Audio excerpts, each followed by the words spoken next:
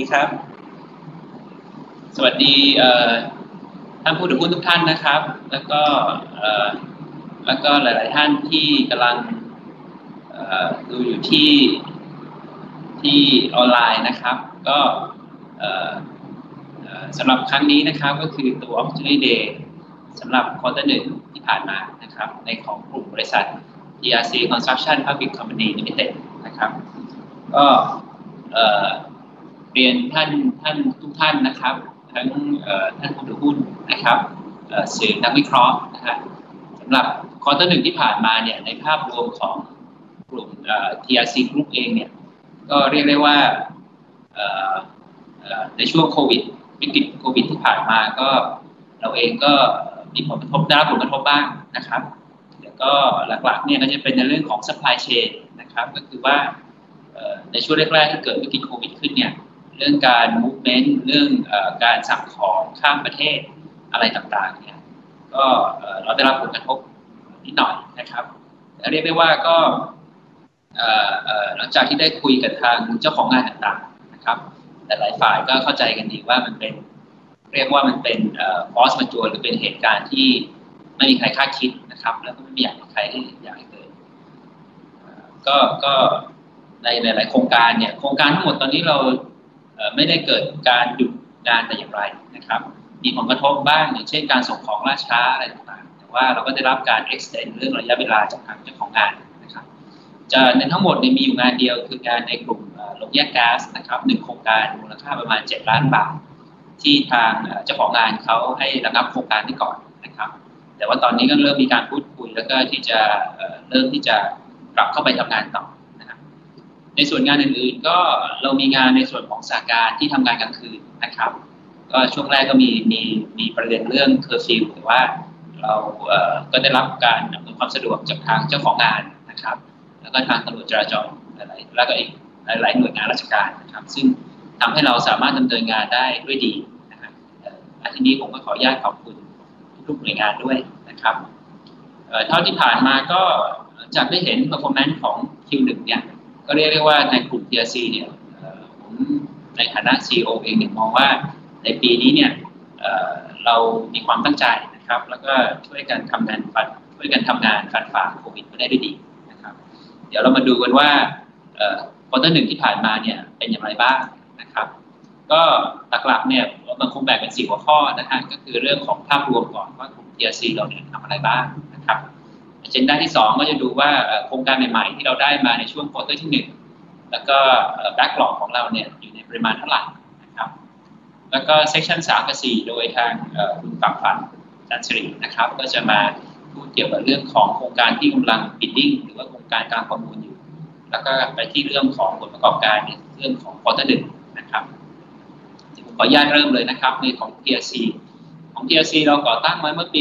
1998 นะครับ ซึ่ง ตอนนั้นเองเนี่ยหลายท่านท่านผู้รู้หรือหลายคนจะมองว่าเรานั่นคือบริษัทที่เน้นเรื่องของเป็นผู้รับเหมาในเรื่องของท่อส่งก๊าซธรรมชาตินะครับ แล้วก็พอปี 2005เนี่ย2005 ทางกลุ่ม TRC ก็ได้เข้าลิสต์ในตลาดหลักทรัพย์นะครับโดยเริ่มที่ตลาด MAI ก่อน อันนั้นเป็นบ้านหลักแรกของเรานะครับ แล้วก็เราก็มีพัฒนาการที่ต่อเนื่องต่อมานะครับ ในปี 2007 เองเนี่ยตัว TRC เนี่ย เราขยับตัวเองขึ้นเรียกเป็น EPC contractor ก็คือเราไม่ได้รับก่อสร้างอย่างเดียวละเราทำเป็น solution ให้กับลูกค้า อย่างเช่นเรารับออกแบบนะครับ เรารับปรึกษา เรารับทำงานทั้งหมดโดยที่รับทุก scope งานนะครับคำว่า EPC turnkey หรือความว่าลูกค้าเนี่ยพอสร้างเสร็จแล้วเนี่ยลูกค้าก็แค่เสียบกุญแจแล้วก็สตาร์ทได้เลยนะครับไม่ต้องทำอะไรอีกและปีในปีนั้นเองเนี่ยเราทางกลุ่ม TRC ก็ได้ acquire บริษัท สหการวิศวกรเข้ามานะครับโดยบริษัทสหการวิศวกรเนี่ยเขาจะเป็นผู้รับเหมาที่ในเรื่องของงานโยธาแล้วก็โครงสร้างพื้นฐานเป็นหลักนะครับหลังจากนั้นออกมาปี 2003เนี่ยในกลุ่ม TRC เราก็เรียกว่า move ย้ายบ้านขึ้นไปที่บ้านหลังใหญ่ขึ้นก็คือในของเซตเองนะครับในใน sector ของ construction service นะครับเราก็มีการดำเนินการเติบโตขึ้นมานะครับ พอมาสักประมาณปี2016 2017 เนี่ย เรามองว่าเราต้องเริ่ม diversify แล้วนะครับหลังจากที่จะเป็น EPC contractor เนี่ย เราเริ่มที่จะเป็น developer ก็คือเรามีการพัฒนาโครงการ แล้วก็เริ่มมองในโครงการที่เข้าลงทุนนะครับ อันหนึ่งที่เราเข้าไปลงทุนก็จะมีในกลุ่มของโครงการตกแรกโพแทสนะครับ ซึ่งเรียกว่าเรียกว่า APOT แล้วก็ในปี 2017 เนี่ย เรา diversify ออกไปไปก่อตั้งบริษัทลูกขึ้นชื่อว่า TRC Utility นะครับ หรือว่า TRC UT ซึ่งเราเข้าไปลงทุนในโรงงานผลิตน้ำประปานะครับประปาชุมชนที่อำเภอปกแดงจังหวัดระยองนะครับ ในปี 2017ด้วเองเนี่ยเราก็ได้โดยบริษัทลูกก็คือสาการนะครับก็ได้ไปจับมือกับกลุ่มบริษัทจีน ชื่อว่ากู้หยวนตั้งบริษัทขึ้นมาชื่อว่าสหการกู้หยวน crossing นะครับหรือว่า HSC ซึ่งรับดำเนินการในการนำสายไฟฟ้าลงใต้ดินนะครับหรือว่าการทำ jacking boring ว่า HDD นะครับนั่นก็เป็นเป็นขั้นตอนการเจิดตัวกลุ่มเรานะครับ เราไม่เรียนเห็นต่อว่าในในในในเชิงของในเซกเตอร์ของ utility เนี่ยน่าจะมีโอกาสที่ให้เราได้เข้าไปลงทุนมากขึ้นนะครับ ปี 2019 เนี่ยปีที่แล้วเนี่ยเราก็ได้จับมือกับกลุ่มบริษัท AGE นะครับ ของโดยคุณพนม ควรสถาพร เราตั้งบริษัทขึ้นมาคือ AT ว่า Ad Energy Solution นะครับ ในรายละเอียดเดี๋ยวผมคงคงคงให้เห็นกันว่ากลุ่มบริษัทนี้ทำอะไรบ้างนะครับ และในปีนี้เองเมื่อต้นปีเนี่ยก็เรามองในภาพในเทรนด์ของเรื่องของ digital transformation ที่จะเกิดขึ้นนะเราเลยตั้งบริษัทลูกในบริษัทหนึ่งนะครับ ชื่อว่า Olive Technology มันจะเน้นไปในเรื่องของ Smart IoT Ecosystem นะครับ แล้วก็ เป็นข่าวดีว่าในช่วงช่วงต้น quarter สองช่วงเดือนสี่ช่วงปลายเดือนสามต้นเดือนสี่นะครับเราก็เข้าได้เข้าประมูลงานในการของกลุ่มไปรษณีย์ไทยนะครับ แล้วก็ได้รับประวอร์งานมา ซึ่งเดี๋ยวคงเราคงไปดูในรายละเอียดกันต่อนะครับสำหรับกลุ่ม TRC เองเนี่ยในเรื่องของวิชั่นเนี่ยเราเรามองตัวเองว่าเราเป็น pioneer organization นะครับ deliver innovative project solution ในวิชั่นก็คือเรามองว่า หลังจากที่ก่อตั้งมาเนี่ยภาพลักษณ์เราคือบริษัทที่ทำบัตรลายแต่ว่าในตั้งแต่ก่อตั้งมาตั้งแต่เราเข้าตลาด AI สิบกว่าปีที่ผ่านมาเนี่ยเรามีการพัฒนาอย่างต่อเนื่องแล้ว อันที่เป็นคอของเราคือ เรามักจะเดินไปในทิศทางที่พยายามหาตลาดใหม่ๆนะครับ พยายามหาโปรดักต์ใหม่ๆ ก็พยายามหาเรียกว่า blue ocean นะครับ เราเลยมองว่าตัวเองเราเป็น เราเป็นไพโอเนียก็คือผู้เปิดที่จะสร้างสรรค์นวัตกรรมต่างๆนะครับที่จะก้าวไปในบริเวณรอบข้างว่าภูมิภาคเอเชียตะวันออกเฉียงใต้ในส่วนนี้นะครับในมิชชั่นต่างๆ ก็แน่นอนเราต้องทำเรื่องของ value ให้กับ shareholder investor partner นะครับในเรื่องของลูกค้าเองเราก็จะเน้นเรื่องของเนื่องจากเราอยู่ในธุรกิจก่อสร้างทางเรื่องของ safety ในเรื่องของ quality เป็นหลักนะครับ แล้วก็การส่งมอบงานที่ตรงเวลา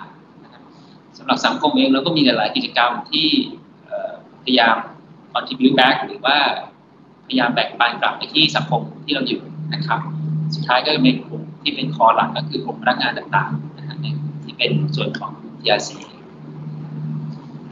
ในในในภาพของกลุ่มเนี่ยเราก็มองว่าคอ value ของเราเนี่ยคือเราใช้คำว่า BTRC คือในการที่จะก้าวเดินไปได้เนี่ยเราต้องมีคำว่า innovative นะครับก็คือความสร้างสรรค์ในการที่จะทำโซลูชันต่างๆให้กับลูกค้าไม่ว่าจะเป็นแบบใดก็ตามนะครับในเรื่องของพลังที่จะขับเคลื่อนขึ้นไปนะฮะมองเป้าที่ชัดเจนการทำงานกันเป็นทีมโดยที่มีการ respect แล้วก็เชื่อใจซึ่งกันและกัน สุดท้ายที่จะขาดไม่ได้ก็คือในเรื่องของ commitment นะครับในกลุ่มเราเนี่ยเราพูดสิ่งไหนมา เราก็จะ deliver สิ่งนั้นนะครับ ในกลุ่มเองที่ผมพูดไปทั้งหมดเนี่ยเราเราเรามาจำแนกได้เป็นสามธุรกิจหลักๆนะครับ ก็คือในกลุ่มของ construction ก็คือก่อสร้างเอง อันที่สองก็จะเป็นในเรื่องของในการลงทุนในเรื่องของ utilities นะครับเช่น TRC UT ที่เขาเกิดขึ้นมาหรือว่ากลุ่มบริษัทใหม่ชื่อ AT Energy Ad Energy นะครับอันสุดท้ายน้องใหม่ก็คือในเรื่องของ Smart IoT Ecosystem นะครับในส่วนของ o l i Technology ครับ อันนี้ก็จะเป็นภาพขยายต่อว่าเอ๊ะที่ผมบอกว่า3ธุรกิจหลักมีอะไรบ้างนะฮะก็จะมี6กลุ่ม6บริษัทย่อยนะครับเออเจ็ดบริษัทและ6บริษัทย่อยกับกลุ่มบริษัทใหญ่ก็คือ TRC กลางนะครับแล้วก็จะมีสาการผู้หยวน HC Crossing ที่เขาทำเรื่องแบบ jacking กลุ่มสาการเองนะครับซึ่งตอนนี้เป็นดาวเด่นที่มาแรงนะฮะกลุ่มที่เป็นเรื่องการลงทุนอุตสาหกรรมภาคพื้นฐานก็เช่น TRC UT ที่เขาลงเรื่องน้ำนะครับน้ำประปาชุมชน ในส่วนของเมืองแร่โพแทสเองนะครับส่วนของ AT Ad Energy Solution ที่ผมได้เรียนไปนะครับว่าเขาลงทุนในเรื่องของสารธารณูโภคนะครับแล้วก็ในเรื่องของพลังงานทดแทน แล้วก็น้องใหม่สุดท้ายก็คือกลุ่ม Olive Technology นะครับผมอยากจะให้เห็นในในในแต่ละอันว่าแต่ละยูนิตหรือแต่ละ subsidiary เนี่ยเป็นยังไงบ้าง และภาพเนี่ยเขาเป็นอย่างไรนะครับ อันแรกก็คือ TLCUT ตั้งแต่ปีต้นปีที่ผ่านมาเนี่ยโดยเฉพาะยิ่งกว่านั้นในช่วงยุควิกฤตโควิดเนี่ยหลายคนเรื่องของ work from home นะครับทำให้ปริมาณการใช้น้ำเนี่ยเติบโตขึ้นอย่างมีนัยยะนะครับคือ TLCUT เนี่ยเขาไปลงทุนในการโรงงานผลิตน้ำประปานะครับแล้วก็ขายให้กับขายให้กับรายขายรีเทลนะครับ ก็คือขายเป็นขายให้กับหมู่บ้าน ขายให้กับโรงงานนะครับ หรือขายให้กับ บ้านเรือนต่างๆนะครับก็จะเห็นว่าตั้งแต่ก่อตั้งมาเนี่ยในช่วงปี 2020 เนี่ยปริมาณการขายน้ำเนี่ยแล้วก็ยอดขายเนี่ยเติบโตอย่างค่อนข้างมีนัยยะนะครับ ซึ่งเรามองว่าถ้าท่านเห็นเนี่ยสองปี 2019 Q1 เนี่ยตัวเลขรายได้เซลล์เนี่ยเราอยู่ที่มัน 2 ล้านแปดนะครับแต่มาปี 2020ควอเตอร์หนึ่งเนี่ยตัวเลขเรากระโดดขึ้นไปเกือบ 2 เท่านะครับก็คืออยู่ที่ 4 ล้าน2นะครับซึ่ง ต่อต่อเนื่องกับปริมาณการใช้น้ำหรือว่าภาคในการขยายตัวของหมู่บ้านต่าง ๆ ในโซนระยองเองนะครับอันนั้นก็จะเป็นในส่วนของ TRCUT นะครับของ TRCUT ที่ผมอยากจะเห็นภาพต่อนะคือว่าพอเราเข้าในธุรกิจนี้และค่อนข้าง success พอสมควรเนี่ยตอนนี้เรากำลังมองภาพขยายต่อเนื่องนะครับ ก็คือการที่จะเข้าไปลงทุนขยายในส่วนของที่ปลวกแดงเอง แล้วก็ในพื้นที่อื่นๆด้วยนะครับ ถ้าในการพัฒนาโครงการต่างๆเนี่ยมีความคืบหน้าอย่างไร เดี๋ยวคราวหน้าผมจะมาเรียนให้ทราบกันนะครับอันหนึ่งก็คือในของ Ad Energy นะครับลูกอีกคนหนึ่งแอดเอเนจีเนี่ยเขาคือหลักๆเนี่ยเขาจะเข้าไปลงทุนในกลุ่มพลังงานทดแทน หรือว่าเชื้อเพลิงทดแทนในโรงงานอุตสาหกรรมนะครับ ก็จะเห็นว่า TRC กับ AGE ถืออยู่คนละครึ่งนะครับก็คือคนละ 50%ตั้งขึ้นมาเป็นบริษัทที่ชื่อ AT Energy Solution นะครับหลักคือเขาไปลงทุนในโรงงานในการเปลี่ยนเขาเรียกว่าโรงงานที่ใช้เป็นน้ำมันน้ำมันเตานะครับหรือ LPG แล้วก็เชื้อเพลิงทดแทนเข้าไปเพื่อจะสร้างประสิทธิภาพและประสิทธิผลให้กับลูกค้าได้มากขึ้นนะครับลดภาระการใช้พลังงานหรือหาพลังงานที่ราคาต่ำลงนะครับ เข้าไปทดแทน แล้วเราก็จะได้รับผลตอบแทนเป็นส่วนต่างตรงนั้นนะครับ อีกอันหนึ่งที่เขากำลังเข้าไป acquire ก็คือเป็นอีกดีลหนึ่งที่ทาง AT Energy เนี่ยกำลังเจรจาอยู่กับ ในการที่เข้าไป acquire solar farm หนึ่งที่นะครับที่ลบบุรี capacity ประมาณ 5 เมกะวัตต์แล้วก็ AT เขาเนี่ยเขาคุยอยู่กับทางลูกค้าที่ที่เวียดนามเหมือนกันนะครับโดยอาศัย AGE เนี่ยซึ่งเขามีฐานลูกค้าค่อนข้างใหญ่อยู่ที่เวียดนาม ในการที่จะเข้าไปดำเนินการการลงทุนเพื่อเป็นการผลิตพลังงาน ไปทดแทนพลังงานที่เขาใช้อยู่แล้วนะครับ ซึ่งตัวนี้ถ้าเรามีความคืบหน้าเนี่ยผมก็จะไปแจ้งให้ทุกท่านทราบอีกทีในส่วนของการเข้าไปซื้อโรงไฟฟ้าพลังงานแสงอาทิตย์เนี่ยเราคาดคิดว่าน่าจะปลายเดือน 6 หรือประมาณเดือน7นะครับที่เราน่าจะโคสติ้งวันนี้ได้นะครับซึ่งก็เป็นอันหนึ่งในส่วนของ AT Energy ครับนะครับ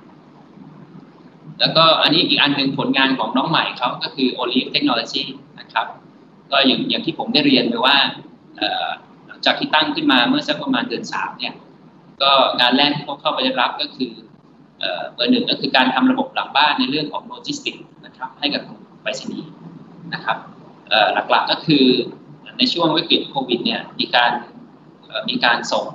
เรื่องของเวชภัณฑ์นะครับ อย่างเช่นหน้ากากหน้ากาก surgical mask นะฮะ PPE แล้วก็ของบริจาคต่างๆเนี่ย ก็คือระบบหลังบ้านของในกลุ่มเนี่ยก็คือทาง Olive เข้าไปพัฒนาให้นะครับ ก็จะเห็นว่าเรา monitoring ทั้งหมดคือวันนี้ส่งหน้ากากได้กี่ชิ้นนะครับ ไปส่งที่ไหนไปส่งอย่างไรใครเซ็นรับนะฮะไม่มีการตกตกหายหรือว่าตกหล่นแต่อย่างไรซึ่งเป็นระบบที่เราพัฒนาขึ้นมาเองนะครับร่วมกับ partner ของเราอีกอันหนึ่งที่ทาง Olive เขาเขาเขาทำเนี่ยก็คือในระบบของ BEMS นะครับหรือว่า building energy management system นะครับอันนี้ก็จะเป็นภาพที่ทุกท่านเห็นว่าอันนี้จะเป็นภาพเนื้องานจริงนะครับก็คือเราไปติดตั้งระบบที่จะวัดการใช้พลังงานของของตึกไว้ว่าวันนี้คุณใช้แอร์คุณมีโซล่าไหมคุณใช้ chiller คุณใช้พลังงานไปทั้งหมดเท่าไหร่นะครับ วัดเป็น real-time ในรายวันนะครับ แล้วก็แยกออกมาได้ว่าคุณอยากจะดูว่าเออแล้วเราจะเปิดปิดไฟอย่างไร เราจะเปิดปิดแอร์อย่างไรให้ได้ประสิทธิภาพสูงสุดนะครับ แล้วก็อีกอันหนึ่งก็คือที่เรามีโรง ผลิตน้ำประปาอยู่นะเราก็เอาตัวโอลิฟเนี่ยเขาไปติดตั้งระบบให้ว่าทุกวันนี้เนี่ยผมจะเปิดดูได้เลยว่าวันนี้เราปิดน้ำไปกี่คิวนะครับรายได้เรากี่บาทเราใส่สารเคมีไปแล้วกี่กิโลคิดเป็นมูลค่าค่าใช้จ่ายเท่าไหร่นะฮะนี่ก็จะเป็นในส่วนของ Olive ที่เขาทำทั้งหมดนะครับ แล้วก็ในในในช่วงที่เทรนด์ของเรื่อง digital transformation เนี่ยเติบโตเนี่ย มองว่าอนาคตของ Olive เนี่ยก็ยังไปได้เยอะนะครับ แล้วก็ยังมีหลายๆงานที่เรากำลังพัฒนาและทำนะซึ่งเดี๋ยวพอมีอะไรขึ้นหน้าอย่างที่เรียนว่าเดี๋ยวก็จะเอาเข้ามาพูดคุยให้ทุกท่านฟังกันนะครับ ว่ามีความคืบหน้าอย่างไรเป็นอย่างไรบ้างอีกอันนึงที่ผมค่อนข้างจะจะมีเขาเรียกว่ามีการเติบโตของ Olive เนี่ยก็คือในส่วนของไปรษณีย์เองนะครับ ซึ่งก็มีการพัฒนาเรื่องโลจิสติก แล้วก็เทรนด์ในช่วงโควิดที่ผ่านมาเนี่ย การส่งของออนไลน์และการส่งของการสั่งของออนไลน์เนี่ยเติบโตอย่างค่อนข้างมีนัยยะนะครับ ซึ่งเรามองว่าตัวนี้ก็เป็นอนาคตที่เราจะเดินต่อไปในส่วนของ Olive ครับนะครับสำหรับเรื่องโควิดก็ก็ในช่วงโควิดที่ผ่านมาในในเรื่องของ TRC เองก็มีการปรับตัวเป็นระยะนะครับ มาตรการต่างๆ ที่เป็นนโยบายออกมาแม้แต่ว่ามาตรการต่างๆ ในเรื่องการควบคุมเรื่องของ safety เรื่องของ health เรื่องของสุขภาพเนี่ยทางเราก็ค่อนข้างเคร่งครัดนะครับ เฉพาะอย่างยิ่งที่ site ใครไปใครมาก็ต้องมีการสแกนต้องมีการกรองแล้วก็คนงานทุกคนเนี่ยการเน้นระยะห่างนะครับ การทานข้าวการอะไรเนี่ยเรียกว่าเราค่อนข้างเข้มเรื่องพวกนี้เพราะเราก็ค่อนข้างห่วงนะครับ ต่อเรื่องของความปลอดภัยของพนักงานเองหรือว่าแม้แต่ให้ทางเจ้าของงานสบายใจว่าเรามีมาตรการที่เคร่งครัดนะครับในช่วงโควิดที่ผ่านมาเราก็มีการช่วยสังคมแต่ว่าเราคือ อาหารอะไรต่างๆ เรื่องน้ำเรื่องอะไรเนี่ยเราก็มีการนำของเราเนี่ยไปไปช่วยให้กับหลายๆหลาย ๆ ภาคส่วนนะครับ ในการที่จะให้ผ่านพ้นในช่วงของวิกฤตโควิดนี้ไปได้ดีนะครับสำหรับเรื่องโครงการต่างๆนะครับ เดี๋ยวผมจะให้ทางคุณฝักฝันนะครับเขาเป็นเขาช่วยดำเนินการตรงนี้นะเชิญครับฝักฝันเลยครับ ค่ะโครงการที่บริษัทได้รับในควอเตอร์หนึ่งของปี 2020 นะคะ มีทั้งหมด 6 โครงการมูลค่ารวม 1,014ล้านบาทค่ะ โครงการที่สำคัญค่ะได้แก่โครงการก่อสร้างอาคารสถานพยาบาลผู้ป่วยโรงพยาบาลสมเด็จพระยุพราชท่าบ่อจังหวัดหนองคายมูลค่าโครงการ190ล้านบาทระยะเวลาก่อสร้างนะคะ 30 เดือน และโครงการ Fighting School Relocation Work ของไทยออยล์ค่ะ มูลค่าโครงการ 235 ล้านบาท ระยะเวลาก่อสร้าง3เดือนค่ะ ค่ะสไลด์นี้นะคะจะแสดงให้เห็น backlog ของ quarter หนึ่งของกลุ่มบริษัทนะคะที่จะแยกตามประเภทของการให้บริการค่ะ การซีวิเวิร์นะคะ 14 โครงการมูลค่า 6,626ล้านบาทงาน pipeline system 4โครงการมูลค่า 1,929ล้านบาทค่ะ งาน processing plant 1โครงการมูลค่า 120ล้านบาท โดยแบ่งเป็นงานของสหการนะคะ 14 โครงการงานของ TRC 5 โครงการนะคะรวมทั้งสิ้น 19 โครงการ มูลค่ารวมนะคะจะเป็น 8,000 5 ล้านบาทค่ะค่ะส่วนตารางนี้นะคะจะแสดงให้เห็นถึงโครงการในปัจจุบันของบริษัทค่ะ โครงการของ TRC นะคะ จะมีมูลค่าโครงการรวม3,455 ล้านบาทค่ะ เป็น backlog นะคะ2,049 ล้านบาท โครงการของสหการนะคะ จะมีมูลค่าโครงการรวมอยู่ที่8,514ล้านบาทค่ะ เป็น backlog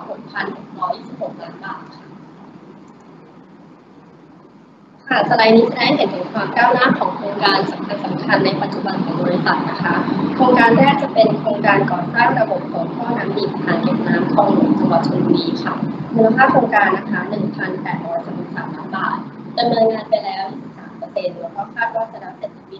2024ค่ะ โครงการที่สองค่ะ เป็นโครงการก่อสร้างสะพานข้ามแยกนารนองค่ะ มูลค่าโครงการ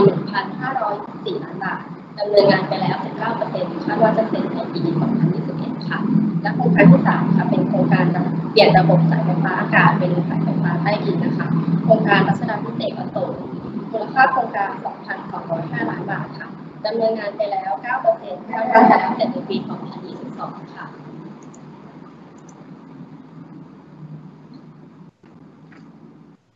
ค่ะปัจจุบันนะคะบริษัทมีโครงการระหว่างการประมูล13 โครงการค่ะ เป็นโครงการของ PRG 10 โครงการนะคะ โครงการของสหการ3โครงการ รวมทั้งสิ้น 13 โครงการมูลค่า 11,910 ล้านบาทค่ะ และ potential project มูลค่า 2,119 ล้านบาท เป็นงานจากภาครัฐนะคะ 1,290 ล้านบาท และงานจากเอกชน 829 ล้านบาทค่ะ พูดตามนี้เข้ามา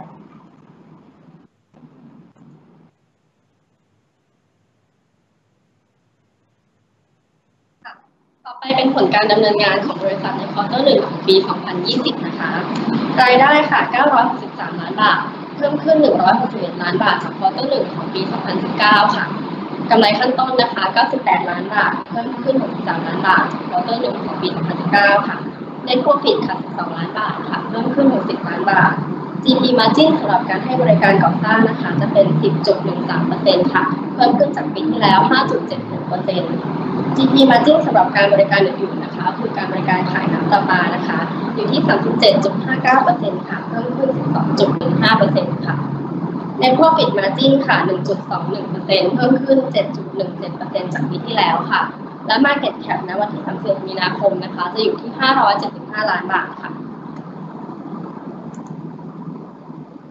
ค่ะอันนี่เป็น Service Income by Segment นะคะ หรือว่ารายได้แยกตามประเภทของการให้บริการค่ะ ซึ่งสไลด์นี้นะคะจะแสดงให้เห็นว่าไปงานที่เป็นไ i ป e แล้วก็ Engineering นะคะจะลดลงจากปี 2016 จนถึงปี 2019 นะคะ ในขณะที่งาน Civil ค่ะจะมีการเพิ่มรายได้อย่างต่อเนื่องเลยตั้งแต่ปี 2016 จนถึงปี 2019 จนมีมูลค่าถึง 2,000 ล้านบาทค่ะ ส่วนอีกด้านหนึ่งนะคะจะแสดงให้เห็นถึงสัดส่วนของงาน Civil ค่ะจากปีที่แล้ว จนถึงปัจจุบันนะคะว่าจะเป็นสัดส่วนที่ใหญ่ที่สุดเมื่อเทียบกับงานประเภทอื่นก็คืองานไฟไลน์กับงาน Engineering ค่ะ อันนี้อันนี้ผมเสริมทางฝั่งฝ่ายคนที่หนึ่งนะครับว่าอยากจะให้เห็นว่าเรามีการปรับปรุงตลอดนะครับ ตามปริมาณงานที่เข้ามาซึ่งทำให้เราขยายงานไปได้ที่ค่อนข้างเรียกว่าโอเคเพราะว่าเมื่อต้น 2 ปี ปี 2019 นะครับ รวมถึงปีนี้เนี่ย ท่านจะท่านจะเห็นว่าตัว commodity โดยเฉพาะที่เราในกลุ่มหลัก TRC เนี่ย ปริมาณงานที่เราได้รับเนี่ยลดลงเห็นได้ชัดนะครับ เนื่องจาก ตัว TRC ก็เองเนี่ยอยู่ในกลุ่มอุตสาหกรรม petrochemical และ oil gas นะครับซึ่งออมันจะค่อนข้าง sensitive กับราคาน้ำมันพอสมควรอย่างที่ได้เห็นว่าพอราคาน้ำมันเนี่ยปรับตัวลดลงอย่างเห็นได้ชัดนะครับ ในช่วงวิกฤตโควิดท่านก็ทราบนะครับ เพราะฉะนั้นเนี่ยในเรื่องของงานเนี่ยมันก็เจ้าของงานก็เรียกว่าเอ่ออาจจะเลื่อนงานออกไป หรือว่าบางงานเนี่ยแคนเซิลออกไปนะครับ แต่ว่าในกลุ่มเราเองเรายังมี กลุ่มสาการที่เขาทำเรื่องของ infrastructure และก็ civil นะครับ ซึ่งทำให้ปริมาณ backlog ของเราเนี่ยยังสามารถคงตัว แล้วก็ยังมีงานที่เข้ามาอยู่ต่อเนื่องนะครับในนี้ที่เขาใส่เป็น pipeline เนี่ยว่ามันต้องมันต้องมันไม่ใช่ pipeline อย่างเดียวนะครับเพราะว่ามันจะมีในเรื่องของแผนแล้วก็งานใหม่ ๆ ที่เราได้มาเนี่ยจะเป็นงานในกลุ่มของไทออยนะครับที่ท่านเห็นอยู่ว่าเราได้รับงาน fabrication ตัว structure แล้วก็ piping spool ที่ 235 ล้านนะครับ แล้ว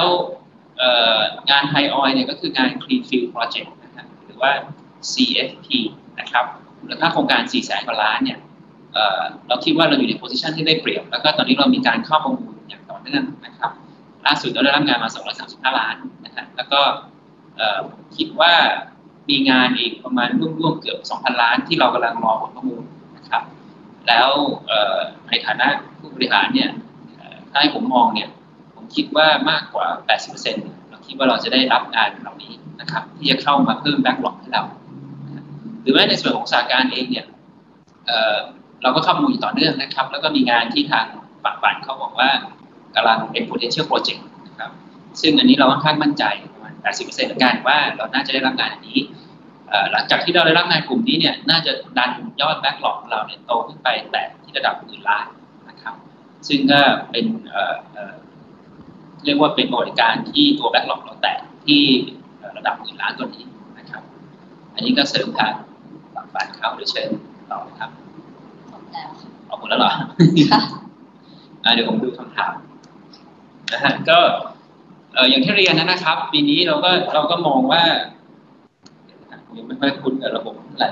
น่าจะเลื่อนตัวอ๋อเลื่อนตรงนั้นใช่ไหมครับ เดี๋ยวผมขอดูคำถามก่อนนะครับข้อหนึ่ง backlog มีเท่าไหร่ ก็อย่างที่ผมได้เรียนนะครับนะสิ้น quarter หนึ่งเนี่ยเราอยู่ที่แปดพันล้านนะครับ แล้วก็ถ้างานที่ที่ผมเรียนไปเราได้รับเข้ามาทั้งหมดเนี่ย backlog เราน่าจะดันไปแตะหรือทะลุหมื่นล้านนะครับ แล้วปีสองห้าหกสามเนี่ยจะเป็นคำถามต่อไปนะครับ ว่าปีนี้เรามองเป้าไว้เท่าไหร่นะครับเมื่อต้นปีที่ผ่านมาเนี่ยเราเราประเมินกันไว้ในช่วงที่ range ประมาณ 4 ยอดรายได้ revenue นะครับของกลุ่มที่ประมาณ 4,500 ถึง 4,800 นะครับ แต่เราเองจะมีการประเมินทุกครึ่งปีนะครับ ซึ่งตัว 4,500-4,800 เนี่ยจะเกิดปัจจัยขึ้น 2 อย่างหนึ่งคืออย่างที่ผมได้เรียนว่างานบางตัวมันเกิดการเลื่อนขยายระยะเวลาออกไปนะครับเพราะว่าเรื่องในเรื่องของวิกฤตโควิดที่เข้ามาทำให้เราได้รับของไม่สามารถนำของเข้ามาประเทศไทยได้ ที่เราสั่งมาจากกลุ่มประเทศจีนหรือประเทศอิตาลีนี่นะครับ ซึ่งทำให้ตัว เป้าเนี่ยอาจจะมีการขยับบ้างในขณะเดียวกันเนี่ยเราได้รับงานเพิ่มเข้ามาอย่างไม่ได้รับคาดหมายและเป็นงานที่ต้องเร่งด่วนนะครับ เช่นในกลุ่มงานของไทยออยเนี่ยตัวเลขถ้าจะประเมินเนี่ยเดี๋ยวผมขออนุญาตไปประเมินอีกครั้งหนึ่งว่าปีนี้เนี่ยรายได้เราน่าจะเป็นเท่าไหร่นะครับ แต่ว่าบวกลบก็คือน่าจะอยู่ในเรนของ 4,500 ถึง 4,800 นะครับข้อต่อไปงานใหม่ที่เข้าประมูลคาดหวังได้รับงานกี่เปอร์เซ็นต์มูลค่าเท่าไหร่นะฮะก็ตอนนี้งานที่กำลังประมูลอยู่เนี่ยอยู่ ประมาณ11,900ล้านนะครับงานบางส่วนที่ผมได้เรียนว่างานบางส่วนที่เราค่อนข้างมั่นใจว่าน่าจะได้ประมาณ80%นะครับคือในส่วนกลุ่มงานของไทยออยแล้วก็ของสาการที่เขาเข้างานประมูลงานการวางท่อน้ำนะครับ แล้วก็งาน infrastructure เนี่ยอีกประมาณร่วมร่วมร่วมร่วม2,000ล้านนะครับนั้นถ้ารวมทั้งหมดเนี่ยของ TRC เนี่ยถ้าผมดูเนี่ยประมาณพันปลายปลายสหการเขาก็พันเกือบเกือบสองพันเนี่ย เพราะฉะนั้นผมมองว่าถ้าสิ้น quarter สองเนี่ย ถ้าพวกนี้เข้าเป้าหมดเนี่ย เราได้รับงานขึ้นมาประมาณสามพันล้านนะครับ ซึ่งจะส่งผลให้ backlog ทะลุหมื่นล้านนะครับ ขอดูคำถามต่อไป ข้อข้อสี่ใช่ไหมครับ ภาพรวมผลดำเนินงานไตรมาสสองเป็นอย่างไรบ้าง จะดีกว่า Q1 มากน้อยแค่ไหนจากปัจจัยอะไรมีโอกาสได้เห็นงานใหม่เข้ามาเพิ่มเติมมูลค่าเท่าไหร่ก็มูลค่างานใหม่ที่ผมได้เพิ่งได้เรียนไปนะครับว่า ถ้าเรามอง ถ้าถ้าทำผู้บริหารประเมินเนี่ย80กว่าเปอร์เซ็นต์เนี่ยเราน่าจะเกี่ยวงานได้ตามที่เราคาดไว้หรือมากกว่าที่เราคาดไว้นะครับ ซึ่งจะส่งผลให้แบ็กหลอกเรากระโดดขึ้นไปทะลุหนึ่งล้านบาทนะครับ ส่วนผลดำเนินงานไตรมาสสองเป็นอย่างไรบ้าง ก็มีทั้งปัจจัยบวกและลบนะครับ ปัจจัยบวกเนี่ยก็คือ commodities หรือว่าพวกราคาเหล็กรูปพรรณโดยทั้งหลายแหล่เนี่ยมีการปรับตัวลดลงอย่างในยักนะ ส่วนส่วนในในเชิงลบเนี่ยอย่างที่ผมเรียนว่าเราก็ได้รับผลกระทบจากวิกฤตโควิดบ้างเหมือนกัน ในเรื่องการขยายซึ่งไปด้วยการขยายระยะเวลาโครงการนะครับก็จะทำให้เกิด cost ขึ้น เช่น เรื่องของคนต่างๆนะครับหรือเรื่องของการที่เราไม่สามารถทำงานได้เป็นบางช่วงนะครับหรือว่ารายได้ที่อยากจะ shift ออกไปเป็น quarter สามหรือ quarter สี่ก็จะพลาดจากที่เรามองว่าจะเป้านะครับ ส่วนว่าเราจะประเมินออกเป็นอย่างไรเนี่ยเดี๋ยวเดี๋ยวอย่างที่ผมเรียนว่า ขอทางฝ่ายบริหารเนี่ยทำการบ้านนิดหนึ่งแล้วเสนอให้กับทางคณะกรรมการนะครับเพื่อจะเสนอออกมาเป็นตัวบัตเจ็ตของกลุ่มบริษัทนะครับภาพในช่วงคำถามต่อไปนะครับภาพรวมธุรกิจในช่วง H1 นี่คือฮับฮับหนึ่งครึ่งปีแรก 63 เมื่อเทียบกับครึ่ง ปี 263 มีการเติบโตครึ่งหลังดีกว่าหรือไม่ ผมถามว่าครึ่งครึ่งปีแรกกับครึ่งปีสองนี่มีการเติบโตดีกว่าหรือไม่ใช่ไหมครับอย่างที่ผมเรียนว่าตอนนี้เรามองว่าประมาณ 4,500 ถึง 4,800 ตัวท็อปไลน์เราแต่ว่าเดี๋ยวต้องขอประเมินใหม่นิดนึงเพราะว่างานที่เราได้รับเข้ามาจากกลุ่มไทยออยเนี่ยเป็นงานที่ค่อนข้างเร่งด่วนอย่างบางงานเนี่ยก็ได้ได้เรียกว่าได้ได้เตรียมตัวไปแล้วที่จะทำงาน นะครับ แล้วก็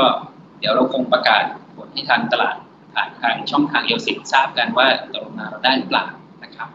แต่เราคิดว่า Q2 เนี่ยเออครึ่งปีหลังเนี่ยงานเข้ามาค่อนข้างเยอะกว่าที่เราคาดไว้เยอะนะครับ แล้วก็ด้วยปัจจัยอะไรต่างๆเนี่ยผลก็น่าจะเป็นในเชิงบวกนะครับ ซึ่งอย่างไรก็ตามเดี๋ยวคงคงคงแจ้งให้ทางผ่านทางอัปเดตในของ Q2 อีกทีหนึ่งนะครับว่าเป็น แล้วก็คำถามต่อไปบริษัทมีแนวทางในการเพิ่มอัตรากำไรขั้นต้นของงาน civil work เป็นอย่างไรบ้างนะครับ ก็อย่างอย่างท่านทราบดีว่าด้วย nature ของ civil work หรืองานกลุ่มนี้เนี่ยเป็นงานที่อัตราอัตากำไรขั้นต้นเนี่ยก็ไม่ได้คือสมัยก่อนเนี่ยเราเราตั้ง gross profit margin GP เนี่ยของกลุ่มงานท่อส่งก๊าซอยู่ที่ประมาณ 15%นะครับของ civil work เนี่ยมันก็จะค่อนข้าง vary ตั้งแต่สองเปอร์เซ็นต์ก็มีนะครับจนถึงสิบเปอร์เซ็นต์ หรือว่าบางงานที่โชคดีหน่อยที่สิบเอ็ดถึงสิบสองเปอร์เซ็นต์นะครับในการเพิ่มอัตรากำไรขั้นต้นก็แน่นอนเราเราตั้งแต่ต้นปีเนี่ยคือเรียกว่าในกลุ่ม PRC เองเนี่ยอย่างที่ทุกท่านทราบนะครับตั้งแต่ปี 2018เรามีการ write off ในเรื่องการลงทุนในของเมืองแรกนะครับในของ a p o t แล้วก็ตัวเราเองทางฝ่ายบริหารเนี่ยทางฝ่ายจัดการเนี่ยหลังจากเกิดปัญหาอย่างนั้นขึ้นเนี่ยเราก็พยายามรัดเข็มขัดกันมาตลอดนะครับเพราะตอนนี้เนี่ยนั้นตอนนี้เนี่ยในเรื่องของ efficiency ในเรื่องของการบริหารงานเนี่ยเราคิดว่าเรามีการควบคุมต้นทุนที่ค่อนข้างดีนะครับ ก็จะเห็นจากจาก Q1 ของของปีนี้ผ่านมา เพราะฉะนั้นตัวนี้เนี่ยตัวเราเองก็ก็มองว่านโยบายต่างๆแนวทางดำเนินงานต่าง ๆ ในเรื่องของ civil work เนี่ยน่าจะได้รับเห็นผลออกมานะครับ จากการเข้มข้นในเรื่องของอการควบคุมต้นทุนที่ดีขึ้นนะครับ อะไรต่างๆ เดี๋ยวผมขอต่อขอดูพรีเซนต์งานใหม่ที่คาดขอกลับมาให้ดูโทษทีนะครับอะตัวนี้นะครับก็อันนี้อันนี้อันนี้ยังไม่ได้มีไม่มีรายละเอียดนะครับ ก็จะเป็นภาพรวมว่างานที่เราประมูลประมูลเนี่ยมีเท่าไหร่นะครับ ก็ตอนนี้ที่เรากำลังรอผลอยู่อยู่ที่ประมาณ 11,900 ล้านนะครับ แล้วก็ potential project ที่ที่เรียนไปนะครับ ในส่วนของราชการเนี่ยที่ผมเรียนว่าผมมั่นใจประมาณ 80กว่าเปอร์เซ็นต์ นะครับ ก็จะเป็นในส่วนประมาณ 2,119 ล้านตัวนี้นะครับ แล้วก็จะมีงานบางตัวที่บางทีก็เข้ามาที่เราไม่ได้รับ ไม่ได้คาดหมายนะครับ แล้วก็ได้เข้าเป้า ซึ่งผมคิดว่าหลังจากที่เราได้รับความชัดเจนจากของงานเราก็คงจะทำการเอกสิทธิ์และกรรมการงานพวกนี้ออกไปนะครับในผมขอไปคำถามต่อไปนะครับว่า ใน second half ปีนี้นะครับ คาดหวังได้งานมาจากไหน และมองว่าจะได้งานใหม่ประมาณเท่าไหร่ ก็อย่างที่ได้เรียนไปนะครับว่างานกลุ่มต่างๆ เหล่านี้เนี่ยงานในกลุ่มไทยออยเองเนี่ยที่เราที่เราได้รับงานแรกมาเนี่ยมันมีงานค่อนข้างเยอะในนั้นนะครับ แล้วก็ข้อดีคือเรียกว่าไม่ถึงข้อดีเรียกว่าผลผลบวกของของกลุ่มเราเองเนี่ยในเรียกว่าโอกาสในวิกฤตโควิดนี้ดีกว่านะครับว่าต่างประเทศที่เข้ามาเนี่ยเรื่องการเรื่องการเคลื่อนตัวของคนทำงานอะไรต่างๆเนี่ยค่อนข้างมีปัญหา ราะฉะนั้นในเท่าที่เราเห็นการปรับตัวเป็นอย่างในส่วนของเจ้าของงานเนี่ยเขาจะค่อนข้างให้น้ำหนักกับผู้รับกลุ่มผู้รับเหมาหรือว่ากลุ่มบริษัทที่อยู่ในโลโก้ที่เป็นคนไทยนะครับ ซึ่งมีสภาพกำลัง ซึ่งมีความพร้อมที่จะเข้าทำงานได้อย่างทันทุกที เพราะฉะนั้นเรามองว่าภาพของ construction ที่เราเดินอยู่เนี่ยในครึ่งหลังก็จะปรับตัวดีขึ้นค่อนข้างเยอะนะครับ ในกลุ่มของ PRC เอง ประกอบกับบริษัทลูกต่างๆ ที่เราที่เรามองว่าเป็นธุรกิจที่จะเป็นอนาคตต่อไปเนี่ยไม่ว่าจะเป็นในของโอลิเรื่องของดิจิทัลทรานส์ฟอร์เมชันเองเนี่ยเรามองว่าได้รับเสียงตอบรับที่ค่อนข้างดีนะครับ แล้วก็เทรนธุรกิจที่กำลังเดินไปเนี่ยเรียกว่ามันมันดีกว่าที่เราคาดคิดไว้ค่อนข้างเยอะนะครับคำถามต่อไปนะครับ คือในปี 2020 ปีนี้และปีหน้าเนี่ยเปอร์เซ็นต์ gross profit จะดีขึ้นหรือแย่ลงอย่างไรครับสำหรับเปอร์เซ็นต์ของ GP เองเนี่ยก็ขึ้นอยู่กับงานที่เราที่เราเข้าไปรับนะครับ ซึ่งเรียนว่าบางงานเนี่ยเป็นเป็นเรื่องของ strategic move ก็คือเป็นเรื่องของยุทธศาสตร์ที่เราจะเดินเข้าไป เพราะฉะนั้นเนี่ยกำไรแรกๆอาจจะไม่ค่อยดีเท่าไหร่นะครับ อย่างถ้าทุกท่านจำได้เนี่ยเมื่อปี 2007ที่ผมเห็นสไลด์เนี่ยว่าเราตั้งบริษัท HSC สาการผู้อยู่ขึ้นมาเพื่อรองรับกับ การการเอาสายไฟฟ้าลงใต้ดินนะครับงานแรกๆที่เราได้เนี่ยมาจิ้นก็ก็เรียกว่ายังไม่ค่อยดีมากนักนะครับ แต่เท่าที่ผมเห็นมาเนี่ยงานหลังๆเนี่ยที่เราเข้าไปเนี่ยพอเราเราเริ่มมีความชำนาญมากขึ้นเนี่ยตัว GP ก็จะปรับตัวขึ้นนะครับ ตามคอสที่เราสามารถ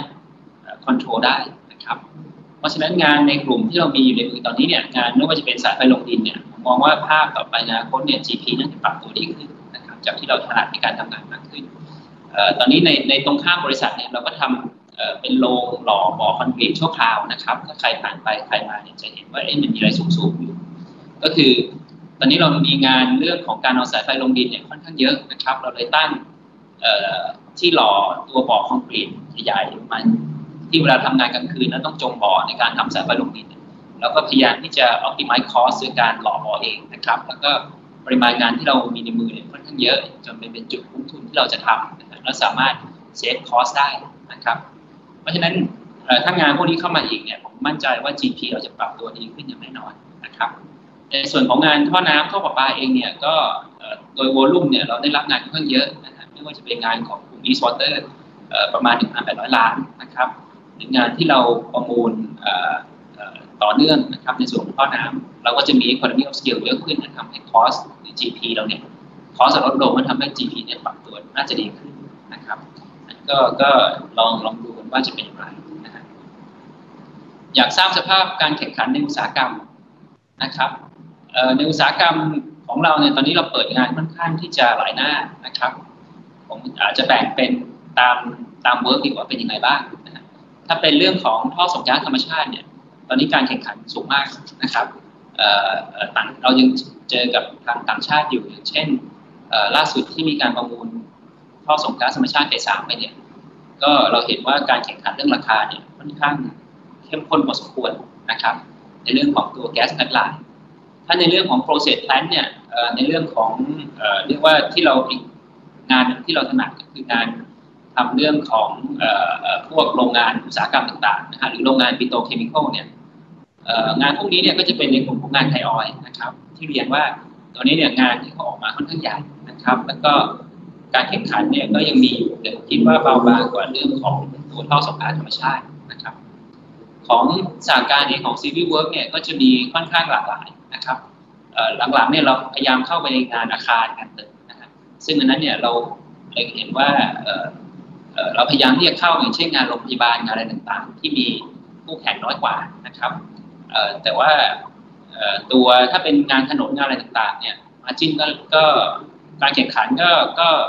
เนื่องจากเราอยู่ในชั้นพิเศษนะครับการแข่งขันก็ไม่ค่อยได้ไม่ค่อยได้เยอะเท่าไหร่การป้าฟันราคาก็ไม่เยอะเท่าไหร่แต่ถ้าเป็นงานในส่วนของท่อส่งน้ำเนี่ยถ้าเป็นหน่วยงานบางหน่วยงานเนี่ยการแข่งขันก็ยังสูงอยู่นะครับอย่างที่ผมเรียนว่าเป็นยุทธศาสตร์นั้นเราพร้อมที่จะเข้าแข่งขันไปส่วนดูภาพรวมถัวเฉลี่ยมาเนี่ย GP ก็อย่างที่เห็นเป็นของคิวหนึ่งนะครับ ก็ก็ปรับตัวในเชิงที่เป็นบวกแล้วก็ดีมากขึ้นนะครับนี่ก็น่าจะเป็นภาพรวมของ ในอุตสาหกรรมในเรื่องของก่อสร้างนะครับส่วนเรื่องของ digital transformation เนี่ยอันเนี้ยคู่แข่งเนี่ยอันนี้ผมค่อนข้างค่อนข้างเห็นว่าเป็น blue ocean ของเรานะครับก็คือเราคิดว่าคู่แข่งยังน้อยอยู่ยังน้อยรายอยู่นะด้วยด้วยศักยภาพของกลุ่ม TRC กับ partner เนี่ย TRC เรามีความเชี่ยวชาญเรามี engineer engineering นะครับเรามีวิศวกรที่ค่อนข้าง full discipline คือครบทุกครบทุกทุกทุก ทุก ๆ สาขาอยู่แล้วนะครับ เพราะฉะนั้นในการที่เข้าไปทำงานต่างๆ เหล่านี้เนี่ยเราค่อนข้างที่จะได้เป็นผู้แข่งนะครับพอเรามีเรื่องของระบบเข้ามาเสริมเนี่ยผมว่าตัวนี้น่าจะน่าจะเป็นอนาคต แล้วก็เป็นอะไรที่ไปได้ไกลสำหรับกลุ่ม TRC เองนะครับอันนี้เป็นคำถามคำถาม เดี๋ยวลงมาข้อแปดนะครับ งานสายไฟลงดินที่ต้องทำงานกลางคืนยังสามารถทำงานได้อยู่ไหมงานสายไฟลงดินยังทำงานได้อยู่นะครับ งานจะเริ่มกลางคืน แล้วก็ เรียกว่าเป็นชื่อเรียนเลยว่าเป็นโอกาสในวิกฤตนะว่าว่าพอมีเคอร์ฟิวเข้ามาเนี่ยเราทำงานได้ง่ายขึ้นนะครับจะเสร็จทันภายในกำหนดไหมช่วงช่วงช่วงที่ผ่านมาเนี่ยครับแรกๆตอนที่เขาประกาศเคอร์ฟิวก็ เราเองก็พยายามปรับตัวกันบ้าง ก็การทำงานก็ถูกขัดพอสมควรนะครับ แต่พอเราปรับตัวได้แล้วเนี่ยการทำงานได้แล้วเนี่ยตอนนี้ก็สามารถเดินงานได้อย่างราบรื่นดีนะครับจะมีบางงานที่ ถ้าเสร็จถามเรื่องระยะเวลาเนี่ยจะมีบางงานอย่างเช่นงานของพระรามสี่เนี่ยที่เรายังไม่สามารถเข้าพื้นที่ได้นะครับ เพราะฉะนั้นในการทำงานเนี่ยก็ยังไม่ได้นับหนึ่งนะครับเพราะฉะนั้นยังไม่มีเรื่องของของ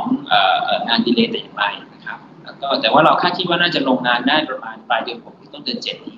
นะครับ เพราะฉะนั้นก็ยังอยู่ในสถานะที่เรากำลังเราได้คาดคิดไปแล้ว เราได้คาดหวังไว้นะครับไม่ได้เกิดการ แล้วก็เป็นอีกคำถามหนึ่งผมเป็นคำถามสุดท้ายนะครับเหลือประมาณสามนาที